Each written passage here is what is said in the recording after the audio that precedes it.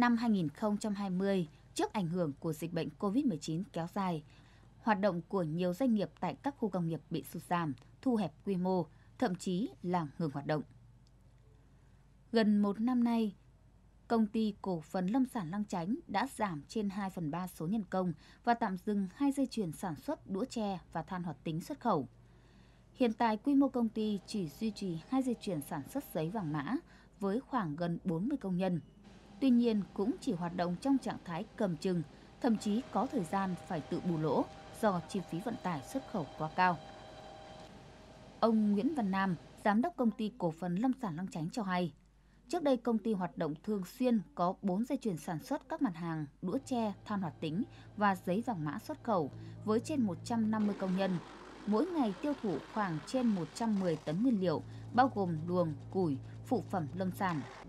Với công suất hoạt động liên tục, mỗi ngày sản xuất ra 5 tấn đũa, 2,5 tấn than và trên 3 tấn giấy vàng mã thành phẩm. Tuy nhiên, từ khi dịch bệnh COVID-19 bùng phát, hoạt động sản xuất bị đình trệ do không có đầu ra – những sản phẩm xuất khẩu thì không thể xuất đi được. Vì thế, công ty quyết định ngưng sản xuất đối với mặt hàng than hoạt tính và đũa tre, chỉ sản xuất mặt hàng giấy vàng mã để duy trì hoạt động, tạo việc làm để giữ nguồn lao động. Từ khi ờ, dịch bệnh ờ, xuất hiện ở tại Việt Nam cũng như ờ, trên toàn thế giới thì các cái ngành nghề sản xuất kinh doanh như chúng tôi là gặp rất nhiều khó khăn. Thì đơn vị chúng tôi là đơn vị làm hàng xuất khẩu nên là từ khi có dịch bệnh đến giờ là các cái mặt hàng xuất khẩu không được và cũng trì trệ cả trong nước. Hiện tại chúng tôi đang sản xuất được có ba mặt hàng. Chính là mặt hàng than sạch, tức là viên nén từ mùn cưa ra. Thì hiện nay cái hàng mặt hàng than đã dừng nghỉ hoạt động 6 tháng nay. Còn cái hàng đũa cũng thế, do dịch bệnh nên là các cái đám đình đám là cũng cách ly nên là cũng không sinh hoạt nên là cũng nghỉ hẳn cũng không làm. Thì hiện tại công ty tôi chỉ còn là có một hàng giấy thôi.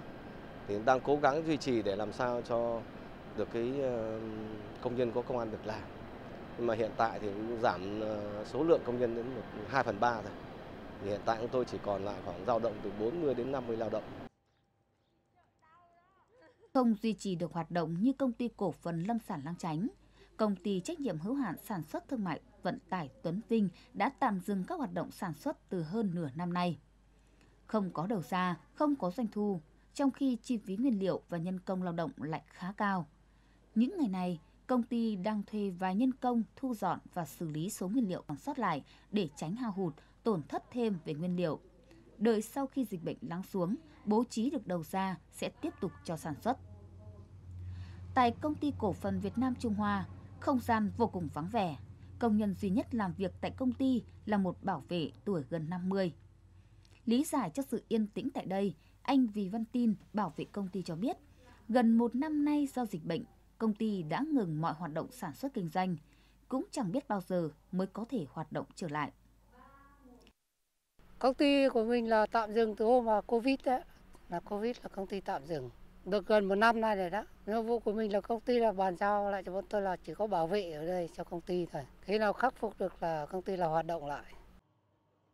Doanh nghiệp chịu ảnh hưởng nặng nề. Công nhân cũng là những người trực tiếp bị ảnh hưởng bởi dịch bệnh COVID-19. Ngày công ít, lương không đủ chi phí sinh hoạt.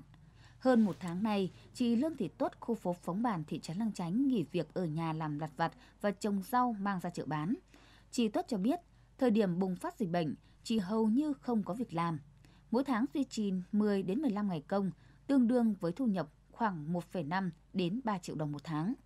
Thời điểm này do không bố trí được đầu ra cho sản phẩm, nên hầu hết công nhân làm cùng công ty với chị đều không có việc làm.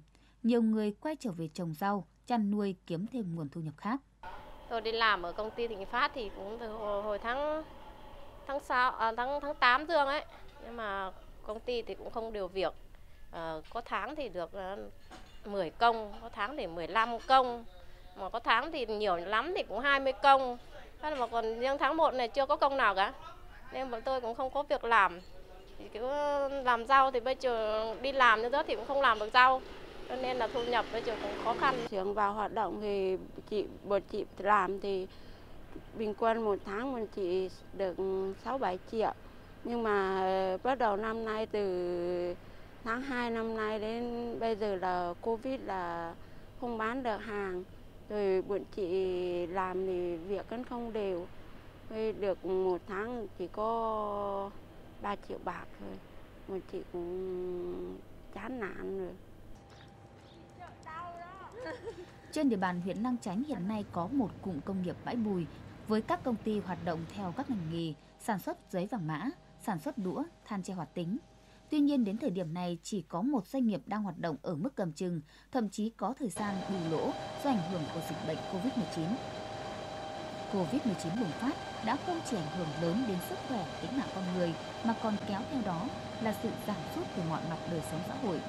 Tại huyện Lang Chánh, do ảnh hưởng của dịch bệnh COVID-19, các ngành công nghiệp xây dựng năm 2020 được đánh giá là không đạt chỉ tiêu so với kế hoạch.